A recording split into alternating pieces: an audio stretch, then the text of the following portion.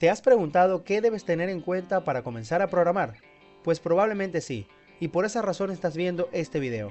Bienvenidos a este nuevo video de mi canal Imagina Code, donde te estaré dando una guía certera y corta sobre lo que debes hacer y considerar para aprender a programar en 2024 o en los siguientes años. Así que vamos. Comencemos por algo que muchas personas piensan de forma errónea y considero que no debe ser así, y es que para aprender a programar no tienes que ser ningún genio ni ser un erudito de las matemáticas. Te lo digo de forma contundente, cualquier persona que realmente quiera programar puede aprender a hacerlo. Es cierto que como cualquier actividad o habilidad puede llegar a ser algo compleja de aprender, pero esto es algo que la consistencia y el estudio paciente pueden arreglar, así que no te limites por eso.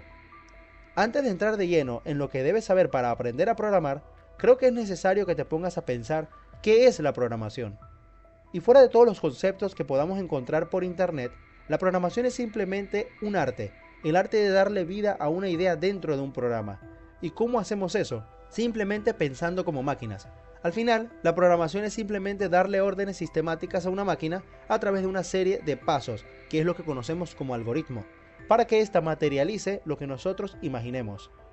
Sabiendo todo esto, ¿cómo podemos comenzar entonces nuestro camino para ser programadores? Comencemos por lo más básico. Define lo que quieres crear. Como dije al comienzo, si estás viendo este video es porque quieres aprender a programar, o al menos te nació el interés por la programación. Lo primero que debes hacer es darle una respuesta a preguntas como ¿por qué quiero programar? o ¿qué quiero crear? Podrán parecer preguntas con poca importancia, pero realmente te ayudarán a marcar tu camino inicial en este mundo. ¿Quieres programar para conseguir un trabajo? ¿O quizás quieres aprender a programar para realizar un proyecto personal? Todas estas son preguntas que debes hacerte al comienzo porque esto nos lleva a lo siguiente y es, ¿qué es lo que quieres crear con la programación? Y esta me parece la pregunta más importante, porque dependiendo de lo que tú quieras crear, es lo que va a determinar tu proceso de aprendizaje. ¿Quieres aprender a desarrollar páginas web, aplicaciones móviles o tal vez videojuegos? ¿O quizás te interese más el mundo de la inteligencia artificial? Tener claro estas preguntas nos llevarán al siguiente punto. Escoge un lenguaje de programación. ¿Sabes por qué el punto anterior es tan importante? Porque dependiendo de lo que quieras desarrollar y crear, debes escoger un lenguaje de programación para ello. Ya tengo un video donde hablo sobre qué lenguaje de programación escoger según las necesidades de cada quien. Te lo dejaré en la parte superior derecha de tu pantalla y también en la descripción de este video para que le eches un vistazo luego de este. Escoger un lenguaje de programación es crucial porque él te permitirá crear el programa que quieras. ¿Quieres crear páginas web? Entonces aprende HTML, CSS y JavaScript. ¿Te llama más la atención la creación de apps móviles? Entonces vea por Java o Kotlin. El desarrollo de videojuegos es tu pasión, entonces aprende C Sharp, sobre el cual tengo un curso en mi canal y estoy subiendo videos frecuentemente. Con este lenguaje puedes desarrollar juegos en Unity, o quizás quieras aprender a desarrollar juegos en Unreal Engine, por lo que debes aprender C++. Si tus gustos están más orientados a la inteligencia artificial, entonces no dudes en aprender Python. Si bien hay muchos lenguajes de programación, solo debes comenzar por el que te permita desarrollar lo que quieres, sin complicarte más la vida pensando en otras opciones. Lo bueno es que una vez que aprendas un lenguaje de programación, aprender otro será mucho más sencillo, porque ya conocerás los fundamentos básicos de la programación que son casi todos iguales en cualquier lenguaje de programación. Puede ser que simplemente quieras aprender a programar para buscar un trabajo y no precisamente porque te gustaría desarrollar algún proyecto personal. En ese caso, investiga sobre qué áreas se están solicitando más programadores y en base a eso escoge el lenguaje de programación para ello. Aprende los fundamentos básicos de la programación. Una vez que ya tengas claro qué lenguaje de programación quieres aprender, es tiempo de comenzar a estudiarlo. Generalmente debemos comenzar estudiando los fundamentos básicos de la programación, que son todos iguales para cualquier lenguaje. Entonces ahí puedes tomar ventaja y comenzar a estudiar los fundamentos de la programación a la vez que te adentras en la sintaxis del lenguaje de programación que hayas escogido. Desde cosas básicas como mostrar un mensaje en pantalla o realizar una operación aritmética hasta llegar a los condicionales, bucles, métodos o funciones. Evidentemente, aquí también entra la parte lógica de la programación. Puedes aprender los fundamentos y lógica de programación mientras estudias el lenguaje que hayas elegido. Puedes estudiar C Sharp, Python o Java pero verás que los fundamentos de la programación serán los mismos en todos los lenguajes. Lo único que cambiará es la sintaxis de cada uno. Por ejemplo, en C Sharp puedes escribir un texto por consola, puede ser un hola mundo, usando la sintaxis console.writeLine y dentro de los paréntesis colocar el texto hola mundo. De esta forma te mostraría este texto por consola. Pero ¿cómo haríamos esto mismo por ejemplo en Java?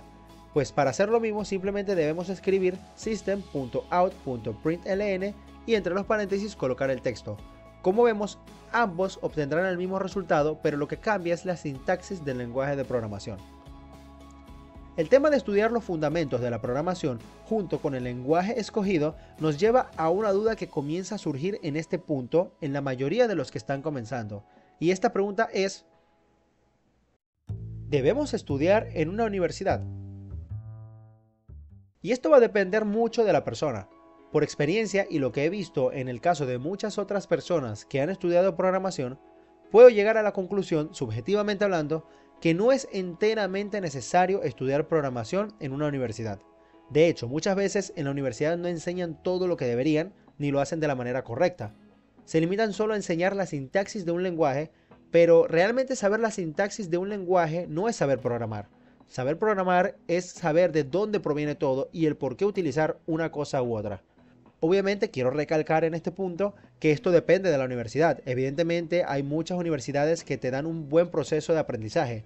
Sin embargo, cualquiera que sea el caso, considero que si decides estudiar en una universidad, hazlo, pero no te limites con solo eso. En el mundo de la programación es indispensable que seamos autodidactas y aprendamos a estudiar por nuestra cuenta, ya que de lo contrario estaremos muy limitados en el área que hayamos escogido. Considero que se puede aprender incluso más buscando tutoriales en YouTube o en algún curso pago, porque te enseñan verdaderamente desde cero y tratan de cubrir todos los temas posibles. En la universidad puede que estés limitado al lenguaje de programación que ellos impongan. Puede que quieras estudiar Python, pero en tu universidad solo enseñan lenguajes relacionados al desarrollo web, por ejemplo. Lo que puedes hacer en estos casos es estudiar por tu cuenta en algún curso de internet, y esto a su vez te servirá para poder aprobar tus materias de programación en la universidad porque irás con ventaja al ir conociendo otro lenguaje de programación. Algo muy importante a tener en cuenta es que en la universidad obviamente obtendrás una titulación, lo cual es algo muy valioso y que consideran muchas empresas a la hora de contratar un programador. Pero eso no significa que no vayas a ser contratado si no has estudiado en una universidad. Con algo de experiencia y un portafolio con tus proyectos personales podrás encontrar trabajo sin problema. Te recomiendo que busques cursos en internet. En YouTube hay muchos. Escoge uno según el lenguaje de programación que quieras estudiar y comienza. Si quieres estudiar C Sharp, te invito a mi canal para que veas el curso que estoy haciendo donde subo videos frecuentemente. Y si no quieres aprender C Sharp en mi canal, pues no hay ningún problema. Hay muchos otros cursos en YouTube de donde puedes estudiar este lenguaje. Lo importante es que tomes la decisión de comenzar a estudiar uno. Practica mucho a medida que estudias el lenguaje. Seguro has escuchado la siguiente frase alguna vez. Practicar es la mejor forma de aprender. Y realmente no puedo estar más de acuerdo. Ya sea que estudies en la universidad o estés viendo un curso por internet, practica todo lo que hayas visto hasta el momento. Si ya has visto condicionales, pues haz ejercicios donde apliques los condicionales. Si ya has visto bucles, entonces combina condicionales con este tema en una práctica. Si ya te has adentrado en el mundo de la programación orientada a objetos, entonces aplica todo lo que has aprendido hasta ahora y adáptalo a este paradigma de la programación. Y créeme realmente que tendrás una evolución enorme en tu proceso de aprendizaje. Te lo digo por experiencia. Busca ejercicios por internet y trata de hacerlos por tu cuenta antes de ver la solución. Eso te ayudará a poco a poco desarrollar más tu lógica de programación. También existen páginas que colocan retos sobre diferentes ejercicios. Puedes ingresar en alguna de ellas ya que estos ejercicios son excelentes para ponerte a prueba sobre tu nivel y lo que puedes llegar a hacer en este punto en el que te encuentras. Yo solía y aún utilizo cuando estoy aprendiendo un lenguaje nuevo una página llamada Code Wars, en la que puedes encontrar diversos desafíos de programación desde los más sencillos hasta los más complicados. En Google también puedes buscar y encontrarás muchas otras páginas similares a esta. Pon a prueba todo lo aprendido. Esto no es lo mismo que lo anterior, Anteriormente te dije que practicaras lo que has ido aprendiendo día tras día, pero en el punto donde ya has llegado a un nivel avanzado en cuanto a los conocimientos del lenguaje de programación que hayas escogido, te propongo que comiences a realizar tus propios proyectos. Intenta desarrollar y crear lo que te imaginas, o algún proyecto que siempre hayas querido crear. Es posible que te cueste un poco al comienzo, ya que no es lo mismo tener todos los conocimientos sobre un lenguaje que aplicarlos en un proyecto real, y esto es algo totalmente normal. Solo te pido que no te decepciones si no lo logras a la primera. De eso se trata. El mundo de la programación consiste en eso. A veces te estancarás en un problema y si no le pones el empeño suficiente ni te preocupas por investigar la solución, entonces nunca avanzarás. Te darás cuenta que los programadores siempre están en constante investigación mientras realizan un proyecto, y esto sin importar que tengan conocimientos avanzados. Y esta es la mejor forma de aprender cada vez nuevas cosas que te permitirán, gracias a esa experiencia, resolver problemas en otros proyectos futuros de una forma muchísimo más fácil y rápida. Aprende a aprender. Cuando estás estudiando, dependerás mucho del curso que hayas elegido o de tus profesores en la universidad. Pero luego de eso, ¿quién te va a ayudar? Nadie lo hará, a menos que tengas compañeros que se dediquen a eso. Pero en la gran mayoría de los casos, eres tú el que debe apoyarse a sí mismo. Debes aprender a aprender. Por eso es importante el curso que escojas, porque no todos te enseñan esto. Hay educadores que enseñan a sus alumnos a aprender a investigar por su cuenta, a que entiendan cómo funciona todo esto y qué es lo que deben buscar y cómo buscarlo. Por eso notarán que en mis cursos puede que me extienda más de la cuenta en ciertos temas, y eso entiendo que puede llegar a ser aburrido, pero mi intención es precisamente que aprendan de la manera correcta y desarrollen las habilidades para que aprendan a aprender por su cuenta una vez que hayan terminado un curso en particular. De esa manera nunca se quedarán estancados. Por eso debes aprender a buscar información correcta y validarla. Es decir, si estás buscando una información en específico, no te quedes con la primera fuente que encuentres. Si estás buscando un tema en YouTube, busca varios videos sobre ese tema y valida cuáles de ellos coinciden con la información e incluso puedes ingresar a la documentación oficial del lenguaje de programación que estés estudiando para tener incluso una mayor veracidad en esa información. Y estas son básicamente las fases por las que tendrás que pasar cuando estás aprendiendo a programar.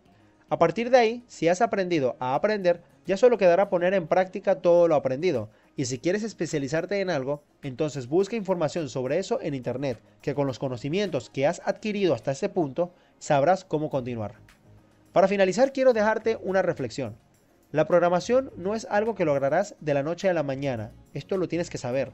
Como cualquier habilidad para aprender, esto tomará tiempo y puede llegar a ser complicado y frustrante en muchas ocasiones. Pero tienes que tener en cuenta que para tener éxito y lograr dominar este ámbito, debes tener mucha paciencia y mucha consistencia durante el proceso. Practicar mucho y siempre hacerlo con buena disposición es algo crucial en este proceso. Si no tienes esto, lamentablemente no te irá muy bien en este campo. Tómalo con calma, ya que esto no es una carrera. Cada nuevo aprendizaje tómalo como una oportunidad para consolidar lo que ya has visto y esto sumándolo a lo que has aprendido nuevo.